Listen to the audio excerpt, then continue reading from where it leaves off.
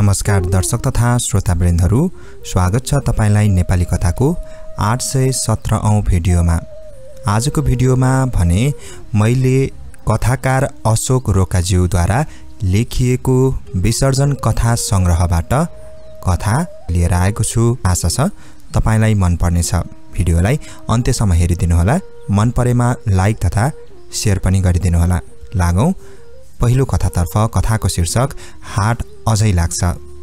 गाउँ सहर भयो सहर महानगरी भयो। थिचियो किचियो मेटियो सबै सबै पूर्व कथा यो त्यही बिहिबारे हाट हो जो विगत सन् अठार सय सत्रदेखि यता बिहिबारको दिनलाई भुल्न सकेका छैनन् यस भेगका मानिसहरूले र त आउँछन् पुगिसरी आएकाहरू पनि दुई चार बिटा रायो साग र पाँच छ केजी इस्कुस लिएर यो बिहिबारे हाटमा।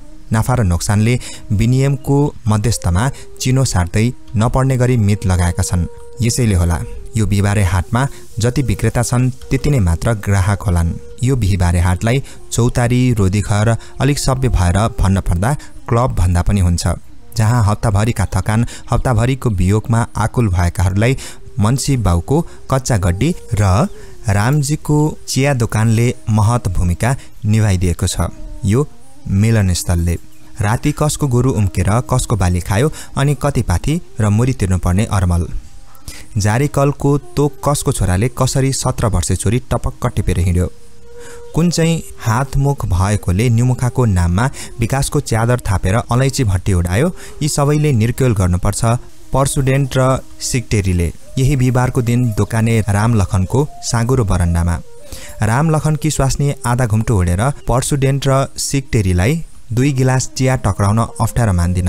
ध्रुव मनिपले अलैँची र अदुवाको दादनीमा महँगो दाममा सुर्ती बङ्गाली खाने तेल साबुन अन्य सामान भिराउन तथा ग्राहक रिजाउन गला सुकिन्जेल बोल्न परे पनि रामलखनकी स्वास्नीले एक गिलास चिया टक्राउन नसक्नु बिरादरीको मर्यादा कायम गर्नु हो। बिहिबारमा एउटै कुवाको पानी खाए पनि ध्रुव पराई मरत हो। अनुहार देखाउन त के छेउमा जानै वर्जित।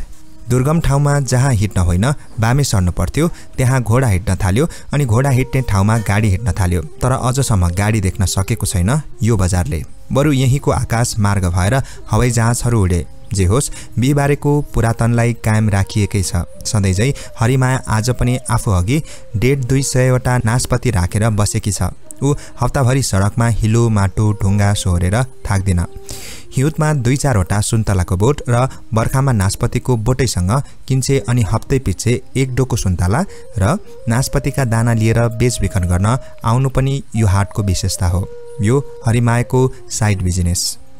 नासपतिको थुप्रो अघि बसेकी हरिमायाका आँखाले पल्लो छेउको हरियाको दोकानदेखि जगदीश लालचन्द शिबु बजरङ्ग माइतहाङको कच्चा गड्डी हुँदै मन्सी बाबुको गड्डीसम्म कसैलाई खोजिरहेका हुन्छन् अनि खोजी क्रम जारी नै रहन्छ। यो नासपति कसरी बहिनी?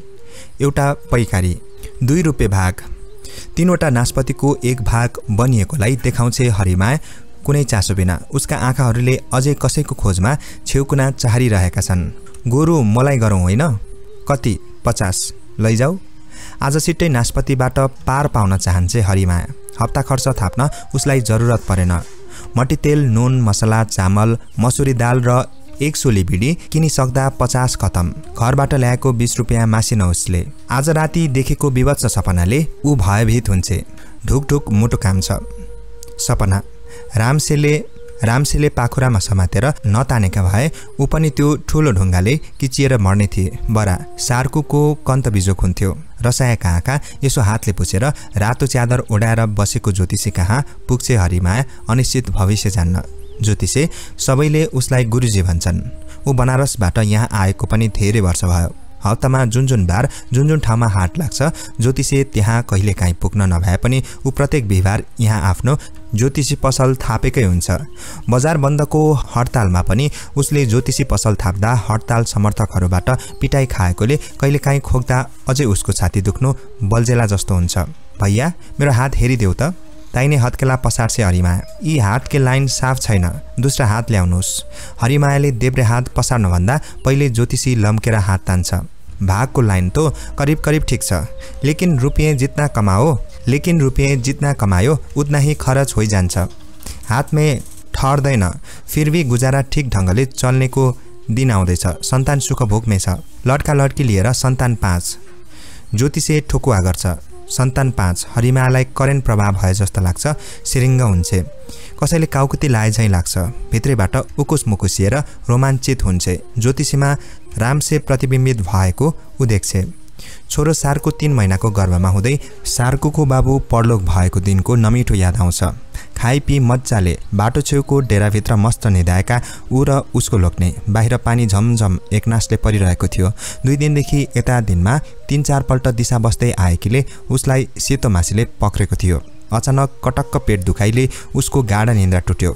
दुखाइ पचाउने कोसिस गरी लोक्नेपट्टि फर्की निदाउने प्रयास गरी लोक्ने सपनामै के के भन्दै बडबडायो उसले सुनि तर बुझिन। सानो बुढीमा फेरि कटक्क दुखाइले उसलाई दिशा बस्न जान कर लाग्यो। छाता छैन। मजुत्रो ओढेर डेरा बाहिर निस्केर सडकको नालीमा दिशा बसी। गड्याम्म।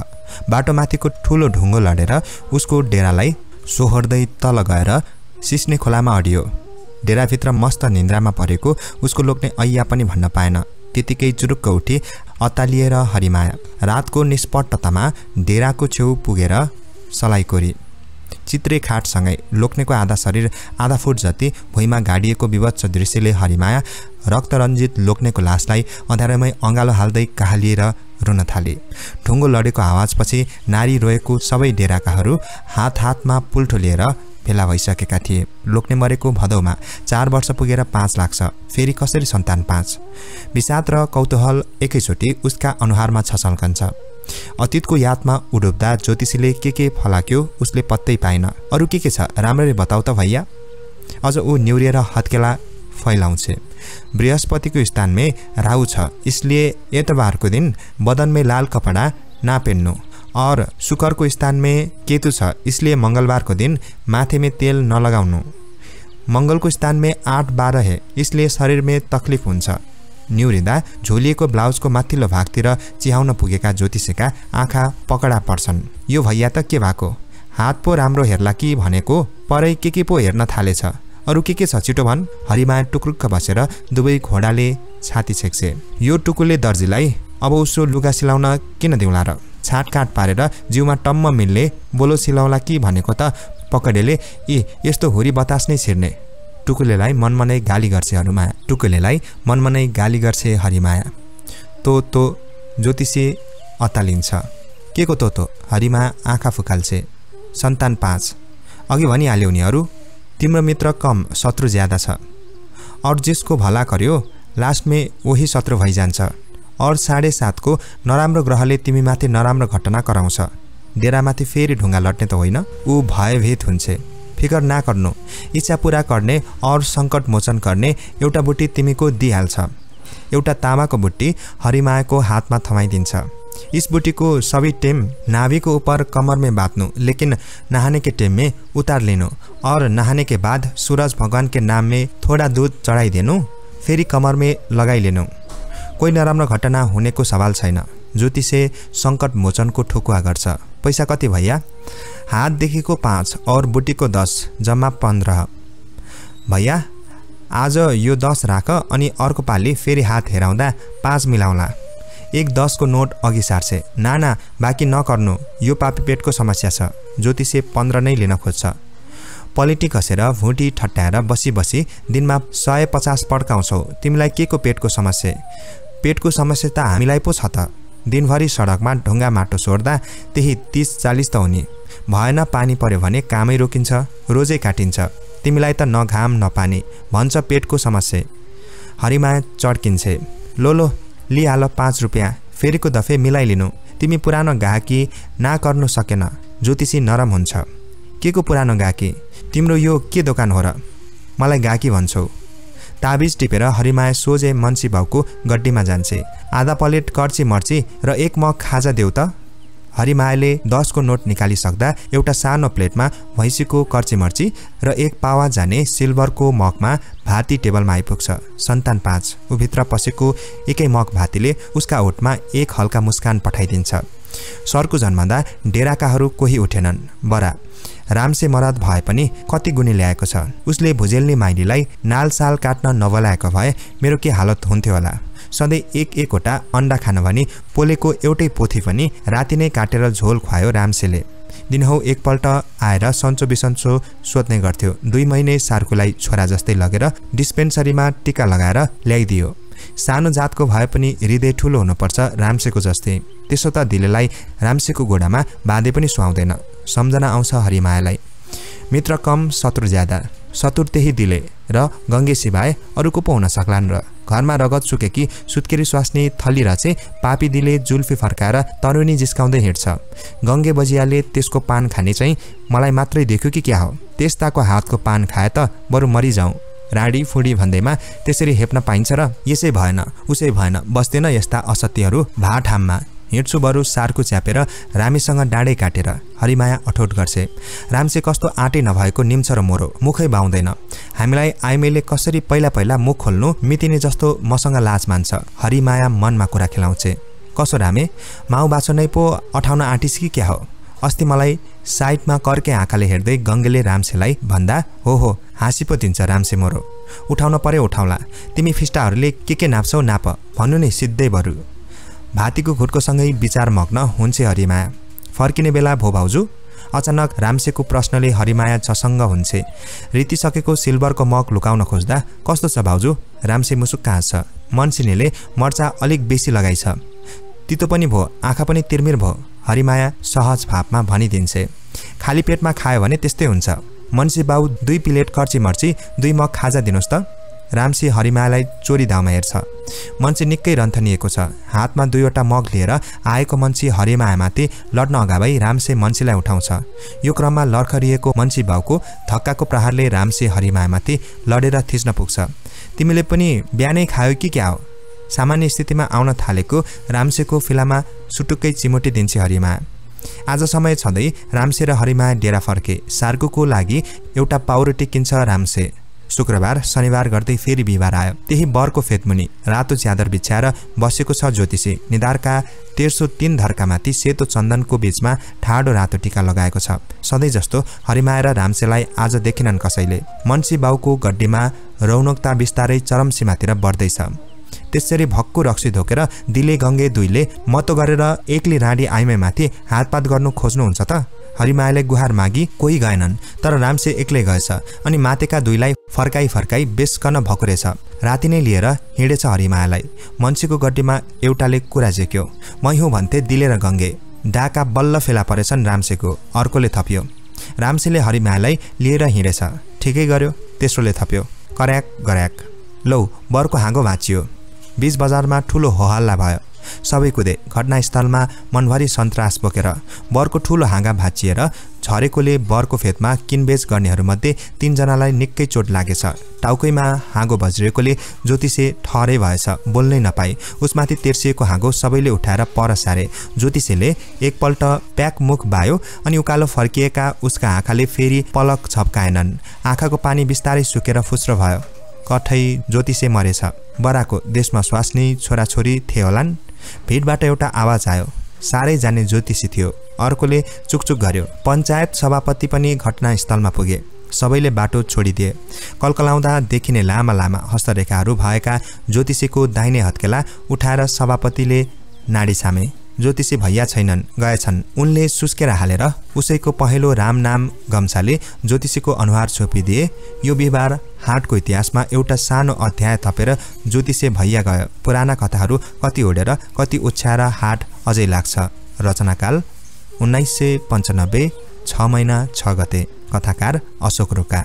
लागौँ अर्को कथातर्फ कथाकार अशोक रोकाद्वारा नै लेखिएको कथा शीर्षक पैँयौँ ढलेछ। त्यो कान्ला मुनिको पैँयौँ मन लोभ्याउने गरी फुल्दा म असाध्यै खुसी हुन्थे। त्यही पैँयौँ फुलेको बेला समय पाउन साथ म आफ्नो कोठाको झ्याल खोली एक तमासले हेर्ने गर्थेँ मानौ योसँग मेरो जीवनका केही एकाइहरू सम्बन्धित छन्। यसरी फुल्ने प्रतीक्षामा हुरी बतास खडेरीको प्रवाह नगरी ठिङ्ग्रिएको यो पैँयौँ यसपालि पनि फुल्यो। सम्झन्थे मेरो जीवनमा पनि यस्तै बहार आउनेछ। स्नेहको समयानुकूल मौसममा कसैको पवित्र मायामा फुल्नेछु। छुल्नेछु पैँयौँ त वर्षे नै फुल्दछ तर म जीवनमा एकैपल्ट फुल्नेछु। परिणामस्वरूप शेष जीवनभरि रमणीयता ल्याउनेछ। मेरा मातृत्वका हाँगा हाँगामा स्नेहहरू चहचहाउनेछन्। यतिलाई नै मेरो जीवनको उपलब्धि ठानिदिन्छु। पोहोरदेखि त हो। यो पैँयु पनि आफूभरि फुल्न सकेको छैन। कर्तव्यबोधले फुल्न खोज्छ तर बुढ्याइले फुल्न दिँदैन। अब यो त म जस्तो बुढो भएछ। अचानक चुम्न खोज्ने यसका हाँगाहरू निहुरिसकेछन्। तर यो अमोक उद्भिद भएर पनि आफ्नो आयुभरिमा धेरैचोटि फुलेर बुढो भयो बरा टुप्पोदेखि सुकेर आउँदैछ। तर म भने फुल्न नपाई बुढी भइसकेछु। बाहिर बेसरी बतास चलेको पैयुका पात तथा हाँगाहरूको सरर आवाजले रातको निस्तब्धतालाई छिचुलिरहेछ। आज पूर्णिमाको रात। चन्द्र निसङ्कोच कालो बादलको घुम्टो हटाई आफ्ना लाखौँ अनुयायी ताराहरूको माझमा आफ्नो लावण्य रूप प्रदर्शन गरिरहेका छन्। चन्द्रको मधुर प्रकाशलाई झ्याल खोली मेरो कोठामा प्रवेश हुने मौका दिएकी छु। यसरी चन्द्र कोठाभरि हाँचिरहेकी छन् तर म आफ्ना अतीतका पन्ना पल्टाइरहेछु। आफ्नो बचाइको आयुभरि निधाएर पनि नगाउने यी जीवनहरू। तर यी मेरा केवल ईर्ष्यालु विचार सिवाय के पो हुन सक्ला र? यदि म पनि यिनीहरू चाहिँ निधाउन सक्ने हो भने निर्धारित आठ घन्टा त के? बाह्र घन्टा यस पलङलाई आफ्नो शरीरको भारी बोकाई निरङ्कुश अत्याचार गर्ने थिए। तर अफसोस निन्द्रा देवीले पक्षपात गरेकी हुनाले धेरै दिनदेखि निधाउन सकेकी छैन। पारी गाउँमा कुकुरहरू एक तमासले भुकिरहेका छन्। सायद कर्तव्यको परिभाषा राम्ररी जानेका होलान्। म पनि यता पलङमा उल्टो कुल्टो हुँदै निधाउने व्यर्थै प्रयास गर्छु। आजको घटनाले त झन पटक्क निधाउन सकेकी छैन। के भयो त? उसलाई मैले पत्र लेखेँ। मैले नै प्रथम अदृश्य प्रेमलाई याचना स्वरूप उसको सम्मुख राखिदिएँ।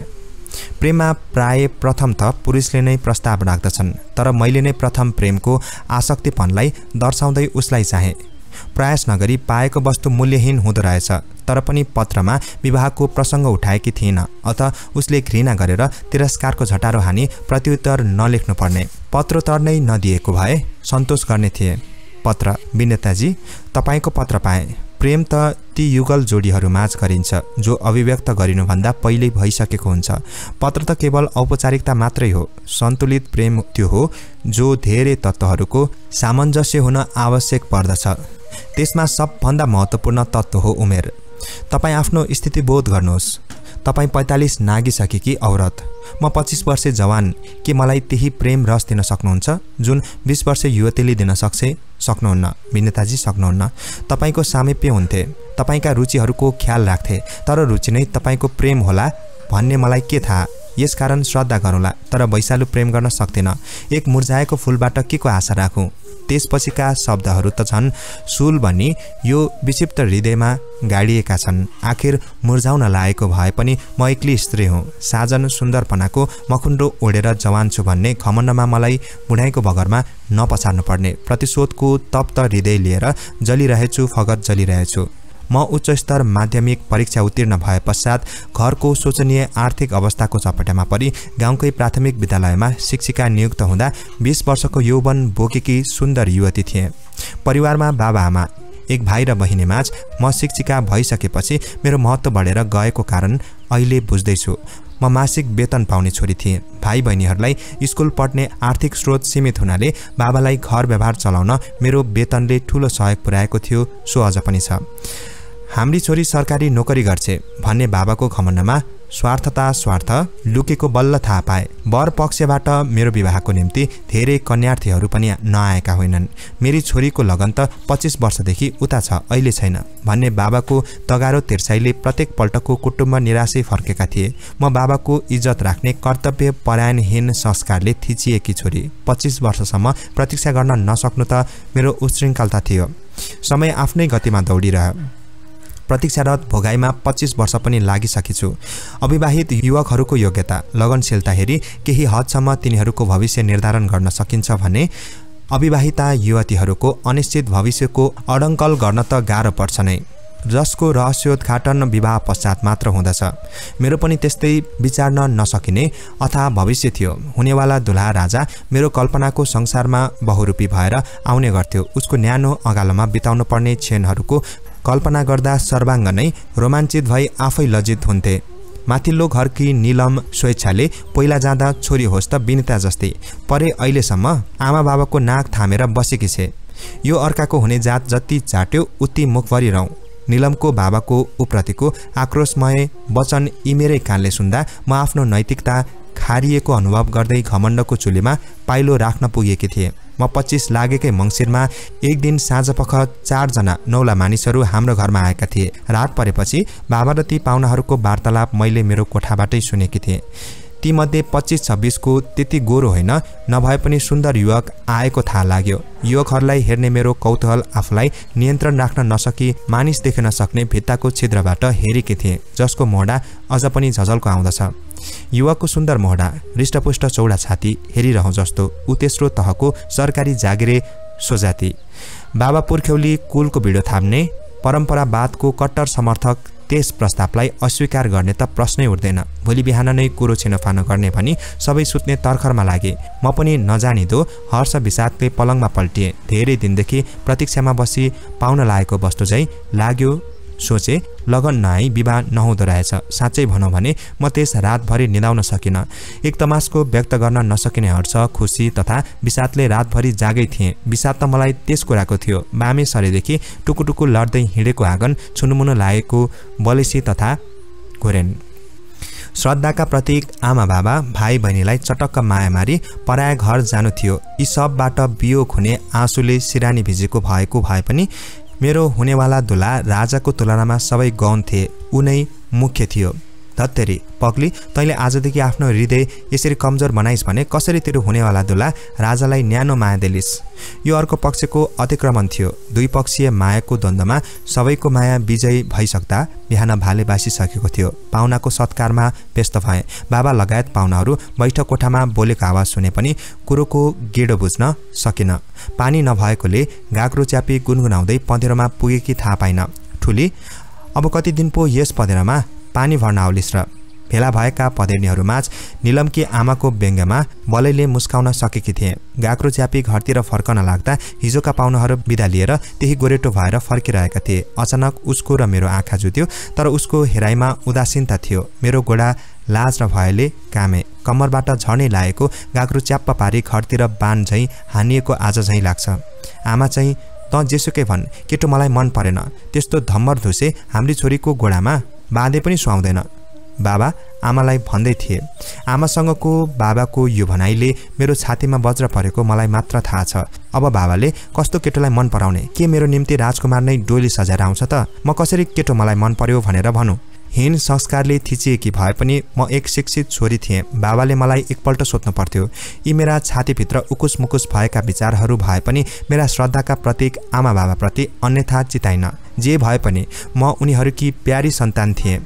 समय बित्दै गयो। भाइ कलेज पढ्ने भयो। म माथि घरको बाबुलाई चाहिँ बोझ थपिँदै गयो। बाबालाई न त भाइको पढाइको चिन्ता न त भविष्यको फिक्री समय पिठ्यौँ देखाइ गइरह्यो। म पनि रुटिनबद्ध जीवन भोगिरहेँ। अरू पनि कति कन्यार्थी भएर आए।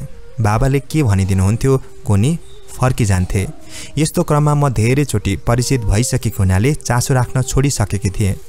यस्तै मभित्रका सुखद मृगतृष्णामा दिनहरू वर्षहरू चिप्लिँदै जाँदै थिए। जीवनलाई विभिन्न दृष्टिकोणले हेर्ने यी आँखाले स्वयं आफूलाई हेर्न बिर्सिसकेका थिए। दसैँमा बहिनी ज्वाइँसित काखफरीको दुधेमुखे छोरो लिएर आउँदा नानीलाई ठुलिआमाको सम्बोधन गर्न सिकाउँदा त्यसबेला समयको सुइरो मलाई च्वास्स घोची पीडाको रगत बग्न थाल्यो।